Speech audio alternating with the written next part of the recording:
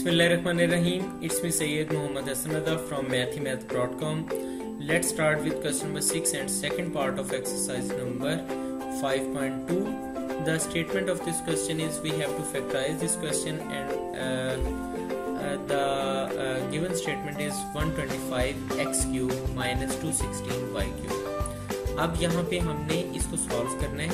तो सबसे पहले तो हम इसको फार्मूला क्यूब की फॉर्म में लिख लेते हैं। तो ये आ जाएगा हमारे पास 5x का क्यूब और माइनस सिक्स वाई का क्यूब अब देखें, अगर दो क्यूब्स हों और दरमियान में माइनस हो तो इसके लिए एक फार्मूला भी अवेलेबल है हमारे पास। और वो फार्मूला कुछ इस तरह से है कि अगर दो क्यूब्स हों, यानी A cube minus B cube और तो इसको हम लिख सकते हैं A minus B into A square plus A B plus B square तो यहाँ पे हम, यहाँ पे ए ले लेते हैं फाइव एक्स को।